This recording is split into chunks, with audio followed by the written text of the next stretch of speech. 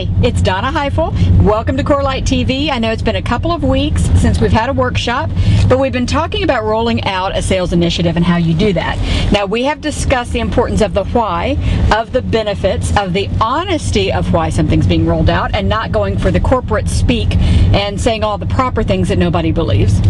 Um, and then, really, today I'm going to kind of wrap it up with the last two aspects. Once you've really established the why and had leadership communicate honestly, then you've got to go with how it is done. And it's kind of like if you watch a football game and you know they have playbooks, but then the quarterback also has on his wrist really a quick reference guide to all of the plays that he's supposed to actually run. And they work on these every day of the week.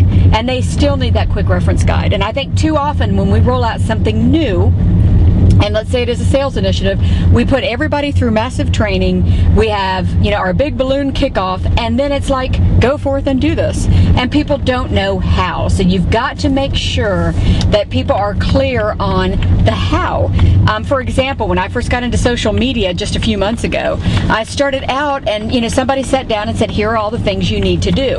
I thought, okay, these are all good things. And then when he would tell me that, I'd be really engaged and excited, but then he would leave and I would think, I have no idea how to do this.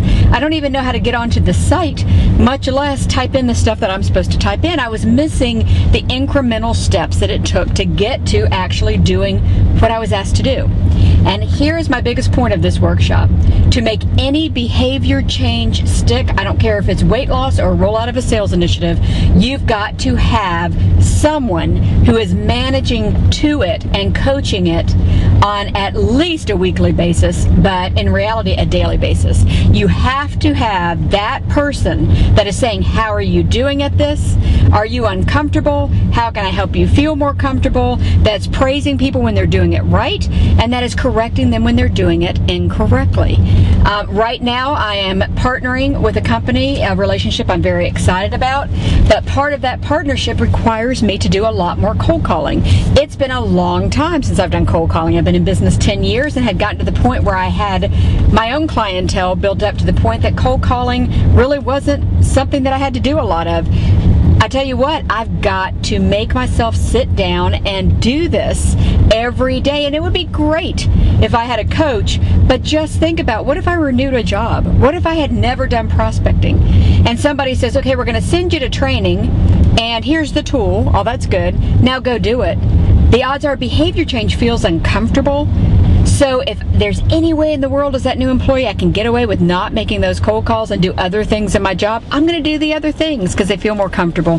So what I want to say in this workshop is if you are rolling out any kind of new behavior or initiative, if you do not have people in place to reinforce it on a daily or weekly basis, it is not going to stick.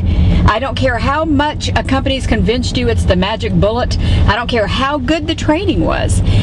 Not because people are malicious, not because they're lazy, but because the behavior is uncomfortable and nobody wants to fail. 85, 90% of the world wakes up every morning and says, I want to do a good job at work today. They don't want to undercut a new initiative.